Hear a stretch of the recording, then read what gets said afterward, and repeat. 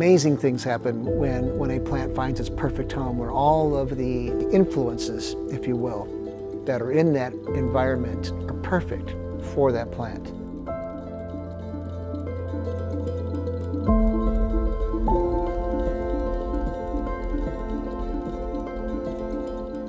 It's not about people.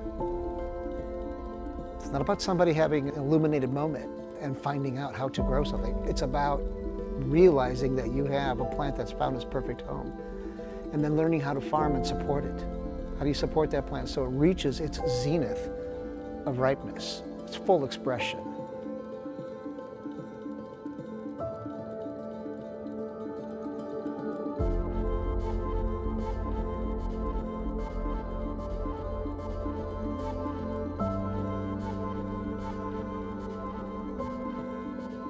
When I started at Ken Wright Cellars, it started as a part-time summer job for me, but I learned pretty quickly that it would grow in, into much more.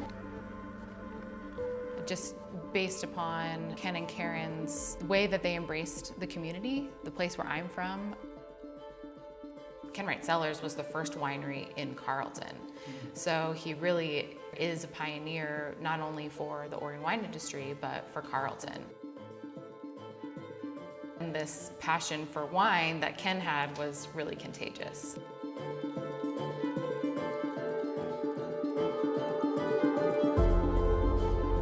Every year, Mother Nature brings a whole new set of issues, a whole new set of challenges, every year.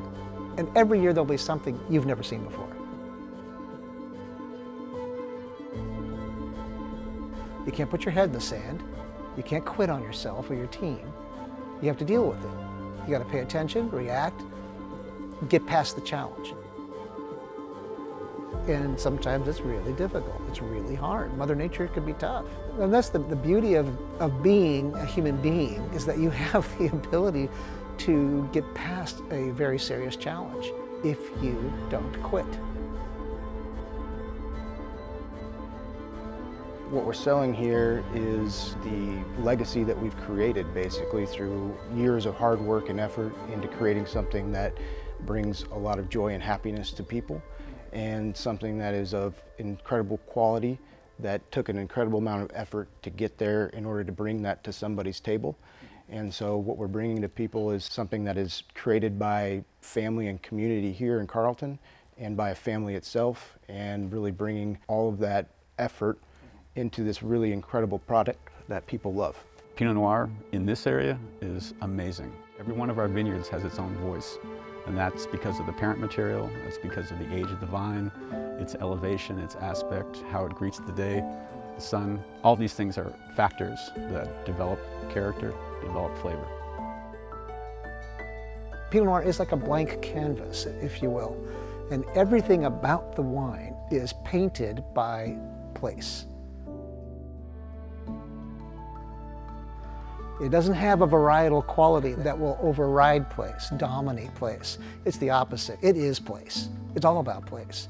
And that's a wonderful thing because to me now, the experience of having that wine has far more depth, far more interest because I get to know a, a place on this planet, a specific site on this planet through that wine.